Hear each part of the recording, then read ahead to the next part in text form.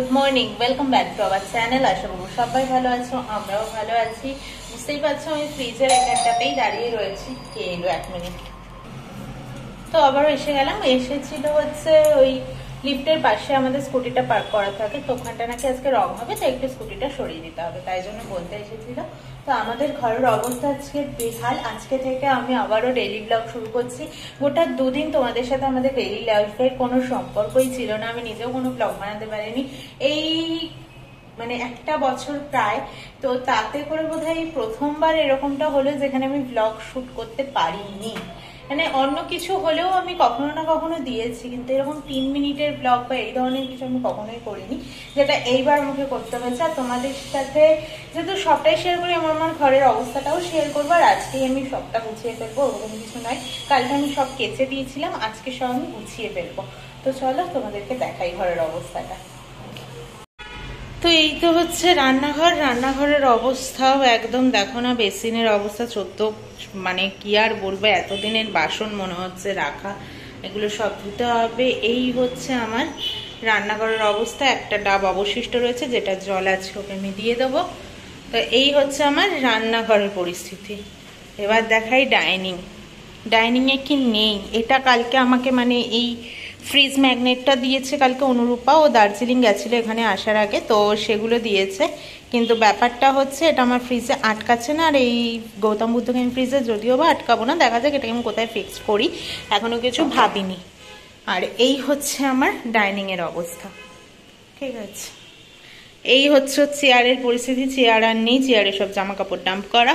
আর এটাও হচ্ছে এখানকার পরিস্থিতি, আর এখানে হচ্ছে এটাও অনুরূপাই দিয়েছে এক একটা জিনিস এক এক জায়গায় রাখা। চারদিকে ওষুধ আর ওয়ারেস। তার সাথে ক্লিপও রয়েছে।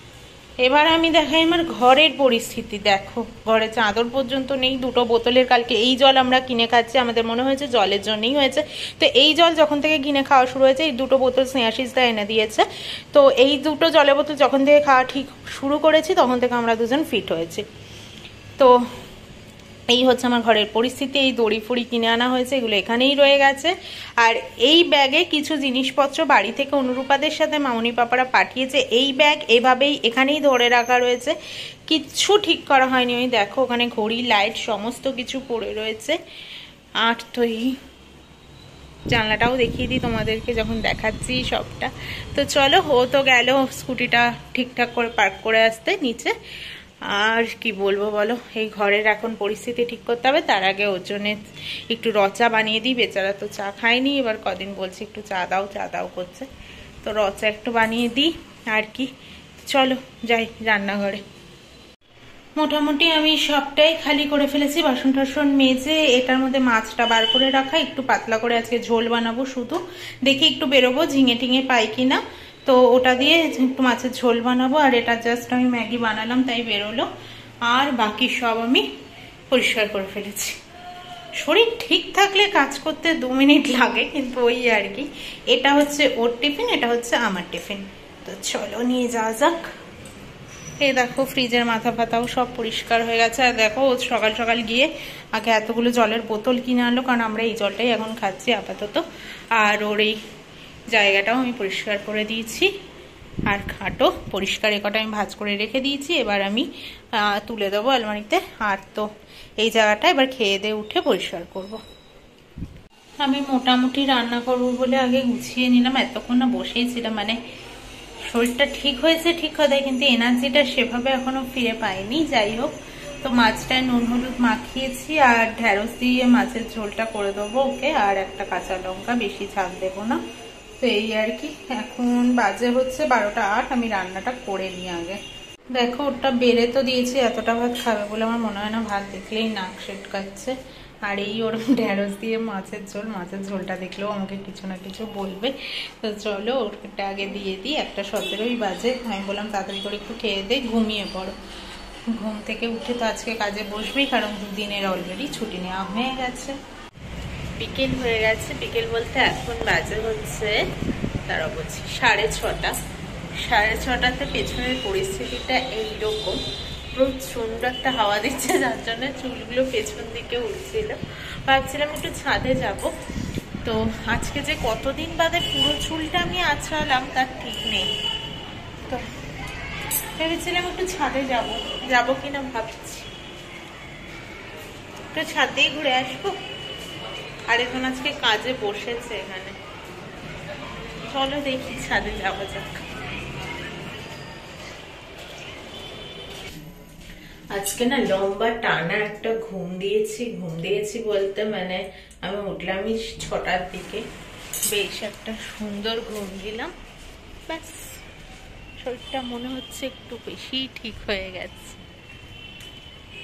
ও কাজে বসেছে দেখে না ভালো লাগল। আসলে ওটাই তো রুটিন যার যার থাকে। বা সবসময় ওরকম শুয়ে থাকতে থাকতে না ভালোও লাগছিল না দুজনের। যদিও বা আজকে শরীরটা অনেকটা ঠিক হয়ে গেছে।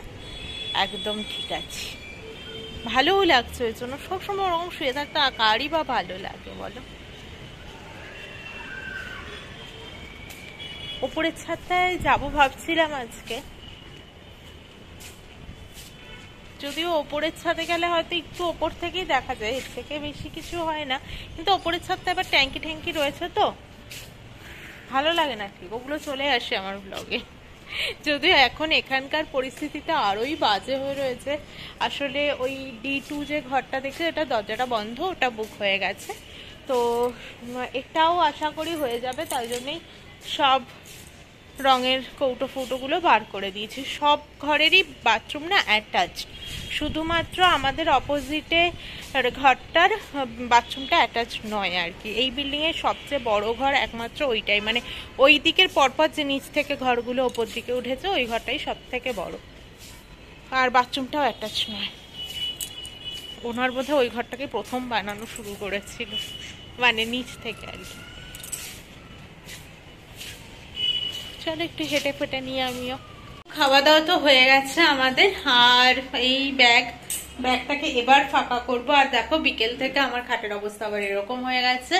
এখন ঝাঁটিয়ে ঠাটিয়ে নেব, এখন বেজে গেছে রাত্রি দশটা চল্লিশ। যে তোর কাজ রয়েছে, আমার এখনটা ফাঁকাই রয়েছে, তাই ভাবলাম ব্যাগটাকে এখন খালি করি একটু।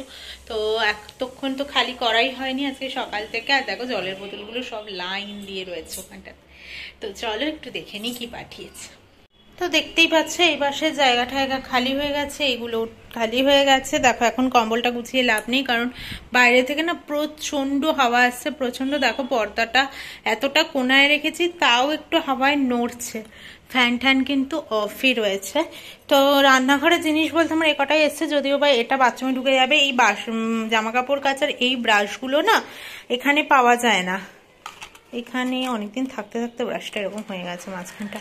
তো যাই হোক, এরকম ব্রাশগুলো পাওয়া যায় না। এখানে সফট ব্রাশগুলো পাওয়া যায়, যেহেতু আমি ভালো কাচতে পারি, আমি ওতে পারি না, আমার এটাই লাগবে। তো এই দেখা যাক এবার এই কড়াইটা যেটা কিনেছিলাম, এটা ইন্ডাকশনে বসে কিনে এটা আগে আমি একটু চেক করব। আর রুটি করার ওগুলো না, এখানে প্রচণ্ডই দাম। তো আমি কলকাতা থেকে এটা কিনেছিলাম, এটা আনা হয়নি, তাই আনলাম। তো চলো এই কটা জিনিসকে ঠিকঠাক করে রেখে দিই, বাকি সব সেট হয়ে গেছে। আজকের মতো আজকের দিনটা সমাপ্ত। কালকে আবারও আসব একটা নতুন ব্লগের সাথে, অবশ্যই একটা নতুন দিনের সাথে। কালকে স্যাটারডে কালকে যদিও ওর ছুটি নেই, কাজ তো আছে, তবে চেষ্টা করব আমরা বিকেলে কোথাও একটু বেরোনোর ও যদি স্কুটি নিয়ে বেরোতে না পারে, তাহলে হেঁটে হলেও আমরা একটু সামনাসামনি কোথাও বেরোবো। কারণ কি বলতো, দুদিন বিছানায় শুয়ে থেকে থেকে আমাদের আর ভালোই লাগছে না একটু। তো মনে হচ্ছে বাইরের একটু হাওয়া টাওয়া গেলে বাইরের ঠিকঠাক দেখলে আবারও সবটা ঠিক হয়ে যাবে। যদিও এই বাড়িতে আমরা না একটা এসে থেকে পজিটিভ এনার্জি পাই। এবার যদি বলো শরীর খারাপটা তাহলে কেন হলো? ওটা শরীর ওটা হতেই পারে। ওটার কোনো কথা নেই। কারণ ওই বাড়িতে থাকতেও আমাদের শরীর খারাপ হতো। তো হতেই পারে। সেটা শরীর যখন আছে, খারাপ তো হতেই পারে। সবসময় ঠিক থাকবে সেটাও কথা নয়। আর আমাদের এটা হওয়ারই ছিল। তো হয়ে গেছে যেভাবেই হোক না কেন। তো ঠিক আছে। আজকের মতো তাহলে এখানেই শেষ করে দিচ্ছি। কালকে আবারও আসব একটা নতুন ব্লগের সাথে। অবশ্যই দেখতেই পেলে, রাতেও গুছিয়ে টুচিয়ে নিলাম। মোটামুটি ঘর আবারও গোছানো হয়ে গেছে। এতদিন অবধি কেমন একটা খারাপ খারাপ অবস্থা হয়েছিল, ঘরের আমার নিজেরও খারাপ লাগছিল। তো আজকে সবটা পরিষ্কার হয়ে গেছে, একদম শান্তি।